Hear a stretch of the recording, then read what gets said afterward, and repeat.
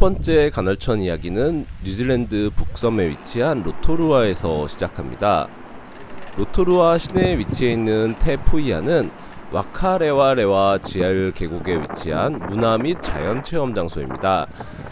지금 보시는 테토우는 유명한 포우투 간헐천 옆에 위치해 있는 작은 간헐천으로 포우투가 분출하기 5분에서 10분 전부터 뿜어져 나오기 시작합니다. 곧 포우투 간헐천이 분출하기 시작할 거라는 신호를 주는 것이죠. 그렇게 포우투가 시동을 걸기 시작하면서 물줄기가 점점 높아지고 곧이어 본격적인 분출을 시작합니다.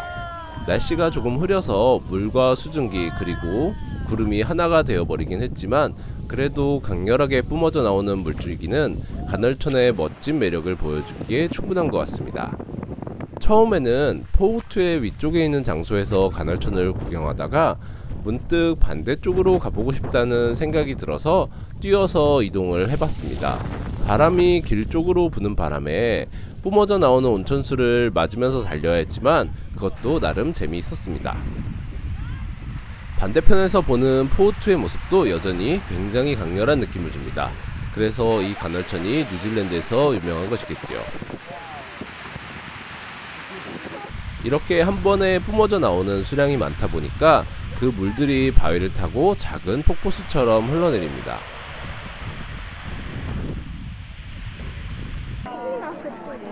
로토루아 인근 와이오타프에는 또 다른 간헐천이 있습니다.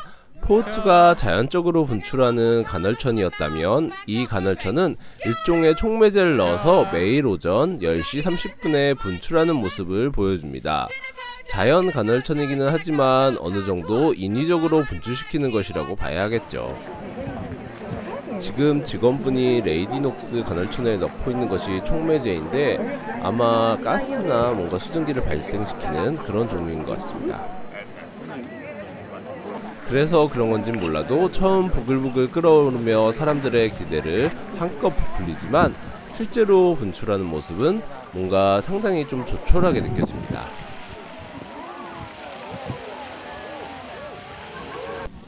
그럼 레이디녹스 간헐천의 분출 모습을 처음부터 다시 한번 보시겠습니다.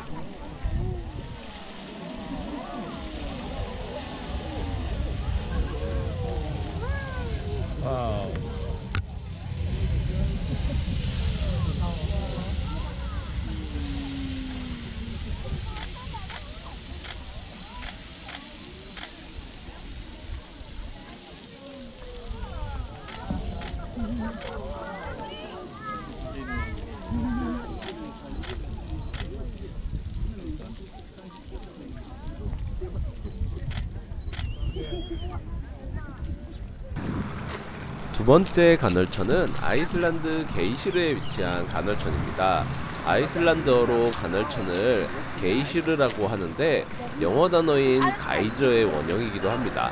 그만큼 아이슬란드가 화산 활동이 활발한 나라라는 것을 의미하기도 하지요.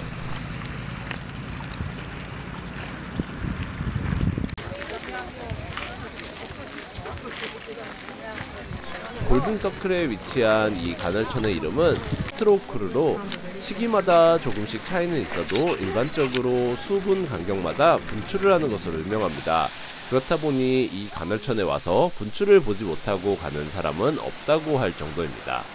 대신 다른 간헐천처럼 한 번 분출을 시작하면 계속해서 분출을 하는 것이 아니라 폭탄이 터지듯이 한 번에 팡 하고 분출하는 것이 특징입니다. 그럼 간헐천의 분출 모습을 슬로우 모션으로 재생해 보겠습니다.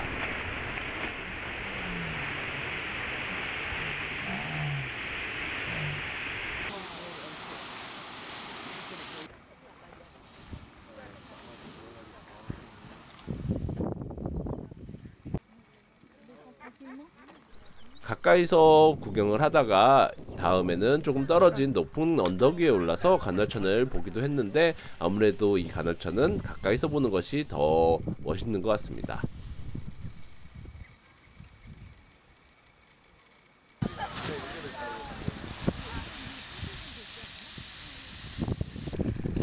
스트로크르 외에도 다양한 볼거리가 있습니다. 부글부글 끓는 간헐천도 있고요.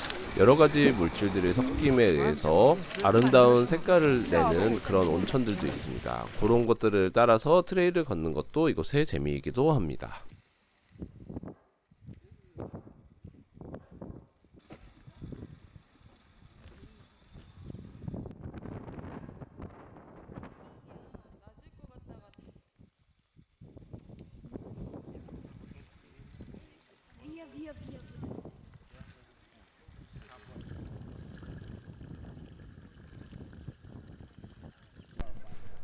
마지막은 미국 옐로스톤 국립공원에 위치해 있는 올드 페이스풀입니다.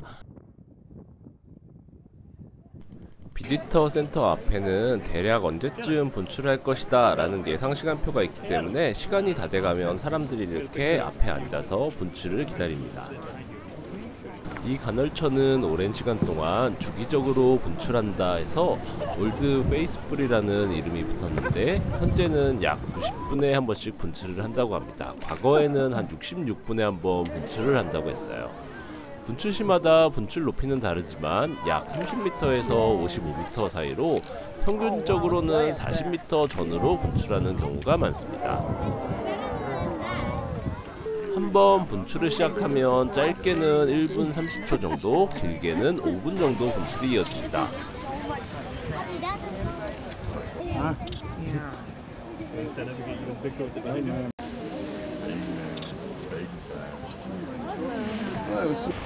분출을 감상하고 trail을 걷고 있었는데 또 올드 페이스풀의 분출이 시작돼서 영상에 담아보았습니다. visitor center 앞에서 보는 것보다 뒤쪽에서 보는 것이 더 강렬한 느낌을 내네요.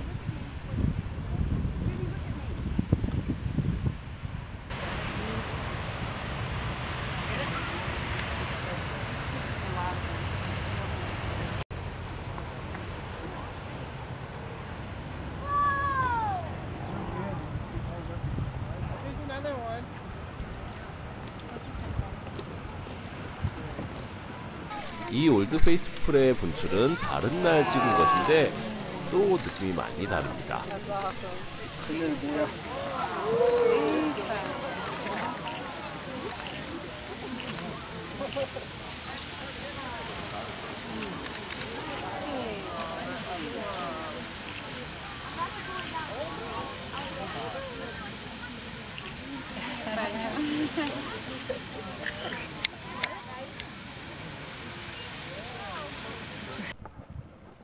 그 외에도 옐로스톤 국립공원에는 다양한 간헐천들이 있습니다. 아주 작은 간헐천에서부터 상당히 큰 규모의 간헐천까지 그 종류도 다양합니다. 세계에서 가장 높이 분출하는 간헐천인 스팀보트 간헐천도 옐로스톤 국립공원 안에 있는데 무려 91m까지 치솟는다고 합니다. 가장 최근의 분출은 19년 9월에 있었다고 합니다. 다음은 캐슬 간헐천입니다. 이 캐슬 간헐천의 분출 주기는 약 10시간에서 12시간 정도로 하루에 두 번 정도밖에 볼 수 없습니다. visitor center에 예상 시간이 있기는 하지만 그 시간으로부터 앞뒤로 1시간 이내에 분출을 할 수 있으므로 인내를 가지고 기다려야 합니다. 그래도 운이 좋았는지 두 번째 방문 때 분출을 볼 수 있었습니다. 트레일을 걷다 보면 이렇게 수시로 분출하는 간헐천들도 손쉽게 만나볼 수 있습니다.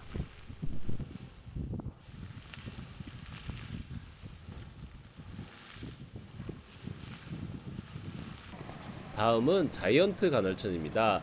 2018년에 분출한 이후로 현재는 분출을 하고 있지 않는데 언제 다시 분출할지는 아무도 모릅니다.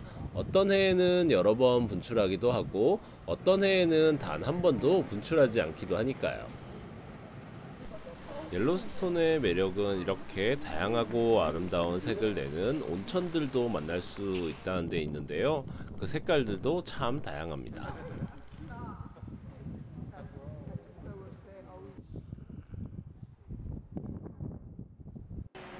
강 옆으로는 아주 귀여운 리버사이드 간헐천도 있습니다.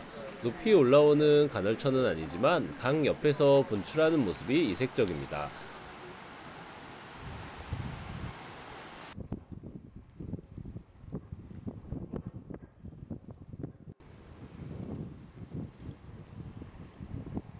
마지막으로 보여드릴 간헐천은 그레이트 파운틴 간헐천입니다. 분출이 있고 분수쇼를 하는 것 같은 느낌을 내는 곳입니다.